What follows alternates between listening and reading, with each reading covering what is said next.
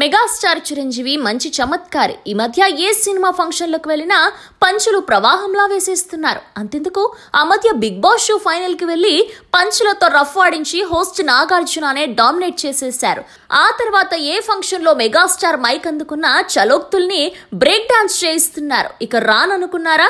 రాలేననుకున్నారా అంటూ ఉగాది కానుకగా ట్విట్టర్లో మెగా ఎంట్రీ ఇచ్చి మెగాస్టార్ ట్వీట్లతో చెలరేగిపోతున్నారు. ముఖ్యంగా మోహన్ బాబు పూరి జగన్నాథ్లను ఉద్దేశించి పెట్టిన ట్వీట్లు వైరల్ అయ్యాయి ఇక చిరుకి ఆహ్వానం పలుకుతూ పూరి ట్వీట్ చేయడంతో పూరికి మాత్రం పగిలిపోయే రిప్లై ఇచ్చారు చిరు.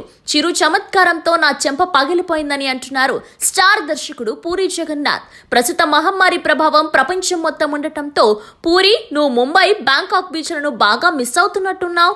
అయితే నీ భార్యా పిల్లలతో సమయం గడుపుతున్నందుకు వారు బాగా సంతోషిస్తూ ఉండి ఉంటారంటూ మరో ఉద్దేశం వచ్చేలా మెగాస్టార్ ట్వీట్ వదిలారు. అయితే చిరు సార్ ట్వీట్ నా కొంప ముంచింది అంటూ తన భార్యతో జరిగిన సరదా సంభాషణను ప్రేక్షకులతో పంచుకున్నారు పూరి.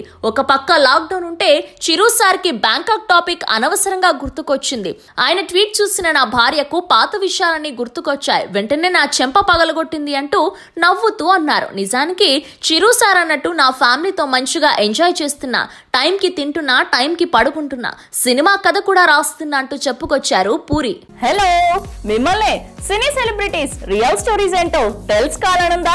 లేటెస్ట్గా రిలీజ్ అయ్యే మూవీ రివ్యూస్ నేను చెప్తే వినాలనుందా? ఇంకెందుకు ఆలస్యం? యోయో సినీ టాకెస్ని సబ్స్క్రైబ్ చేసుకోండి.